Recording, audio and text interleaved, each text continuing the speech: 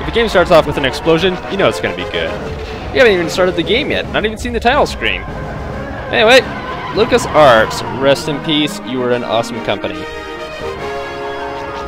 A shame that they had to close it down. A moment of silence. Back in December 1998, Lucas Arts teamed up with Factor 5 to bring us an amazingly well-selling video game. It actually sold better than I had expected it to. In fact, I found out uh, just today, an hour ago, how well it sold. Today's game is Star Wars Rogue Squadron for the N64. There's also a PC version, but from what I understand, we don't talk about that. Actually, as I was saying, this game sold better than I had even expected it to. It uh, released in December 1998, man I feel old, and it was the second highest selling video game for the first half of the month. The game that was above that, and it's going to a demo, the game that was, that actually sold above it. Good morning. Yeah, I'm going to skip this. And I'm going to get into the menu here so that we can skip all the other demos. I, as I'm trying to say here, let me try again. The only game that sold better than Star Wars Rogue Squadron in December of 1998 for the first half, the only game to sell better, was Legend of Zelda Ocarina of Time. It released the same month as Ocarina of Time, and this was the only game this, this is the second best-selling video game of that month for the first half. I mean, yeah, for the first half and the second half, obviously Zelda did better. But really, it seems to be kind of a lost game somewhere. I don't know how. And uh, actually, in the UK, it sold ahead of Ocarina of Time. It was in second place still then, too, but still, ahead of Ocarina of Time? You don't say this kind of stuff lightly. Trust me, I don't believe it myself. I really don't. But I guess it's a true fact. Ocarina of Time didn't sell as well as this game in the UK. And uh, one more thing before we jump into this game. The media sources who are going to review this game, they were not sent spare copies because demand was so high. Sales expectations for this game were actually 100% better than what they had anticipated.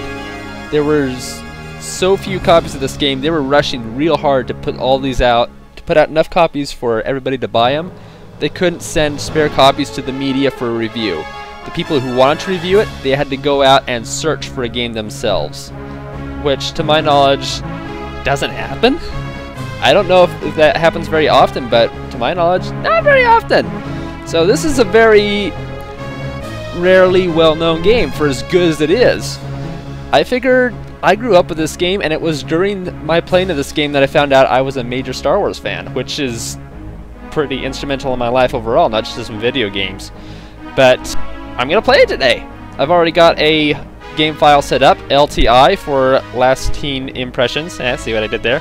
Or late impressions, I mean, it goes either way. LTI, it works, you know, whatever. And there's a couple other files down there, but we're going to start off in the first level. So let's get to it.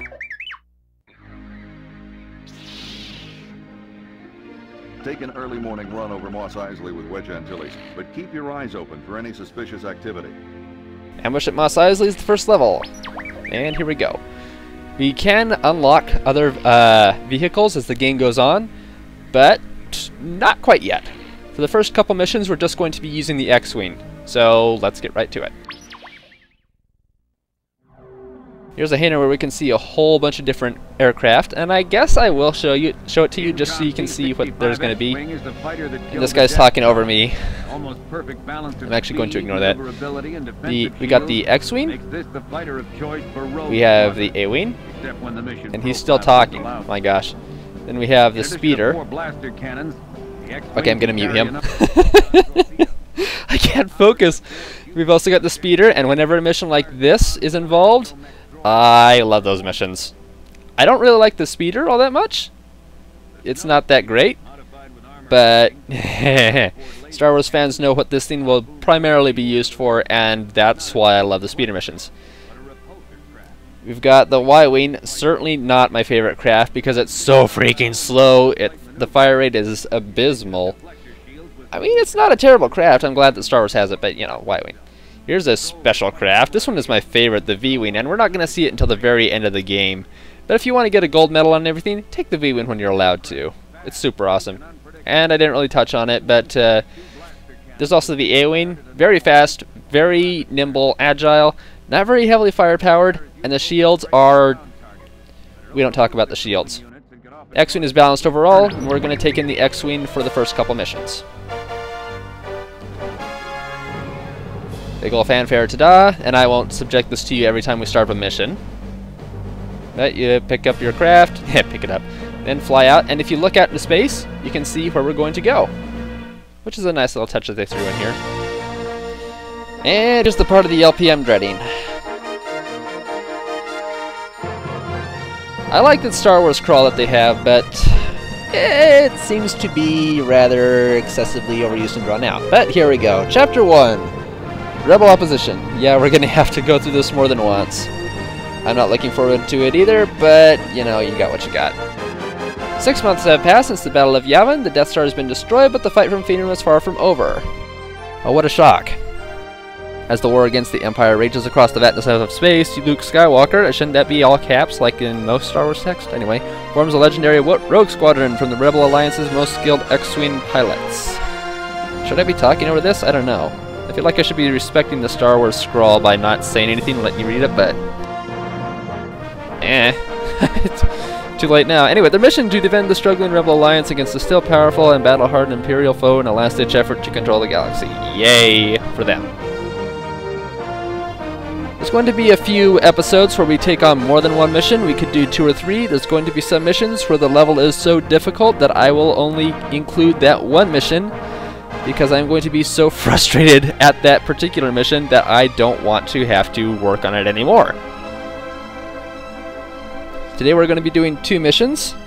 Next time we will do a third mission. Maybe a fourth. And I guess we'll play it by ear after that. You're going the wrong way! This mission is very simple. It's just like a basic training mission. Good morning, Wedge. The rest of Rogue Squadron is still back at base, but I thought we could take an early morning run through Beggar's Canyon. In X-Wings? Yeah, right. These are spaceship aircraft. They're not freaking skyhoppers.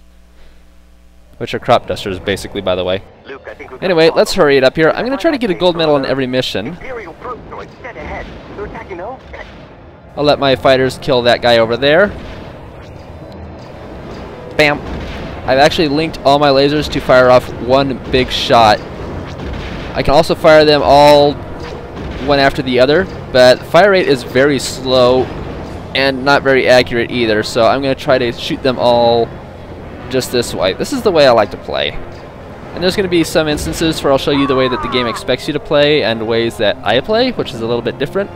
The way I play usually gets me a gold medal, if I do a good job and don't completely screw everything up. And one of my guys lost a probe droids. Okay. Somebody didn't take their Raisin Bran this morning. There we go. And one more on here. Now we're supposed to follow the wedge in the top right corner to our objective. Speaking of which, uh, little green dots on the radar are uh, friendlies, blue are civilian, red are enemies.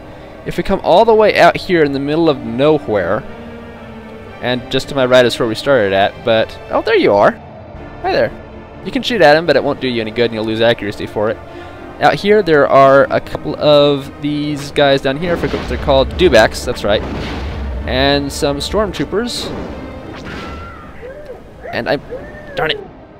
Hey! I really want captions for what R2 was saying there.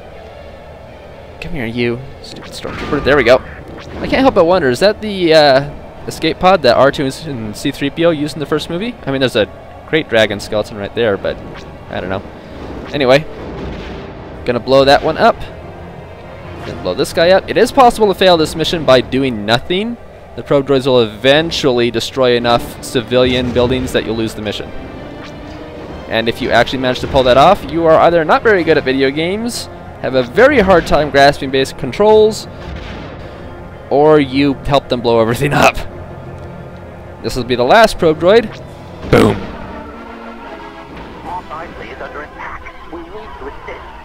To my understanding, they're attacking Mos Eisley to draw me out of hiding, because they know that this is Skywalker's home planet. I don't see the logic in that, considering I left the planet, and this is a bunch of pirates. But, you know, whatever, we'll go along with it. Alright, no. I'm actually going to have to unlink my lasers for this, because it, it can be very hard sometimes to shoot these things down. If you're familiar with the later uh, Rogue Squad... Oops! Sorry! if you're familiar with the future Rogue Squadron games, you know that the fire rate in this game is very slow. Come here, come here. Link shot! Aha! Yeah, you don't fire very fast in this game, but it works. We did it! We saved Mos Eisley! Nice work, Rogue Squadron. We might make a name for ourselves after all. Good job, you saved a whole bunch of pirates and killers and smugglers. What? Anyway, we got a gold medal for that. Yay, awesome! I went through this entire game playing uh, practice rounds just to refamiliarize myself because I haven't played it in years, and I got a silver medal on this game. The uh, little dewbacks and stormtroopers that I veered off to kill, you actually need to kill them for a gold medal, and I missed one of the stormtroopers when I practiced. I figured we all needed 30 instead of 31 or 32.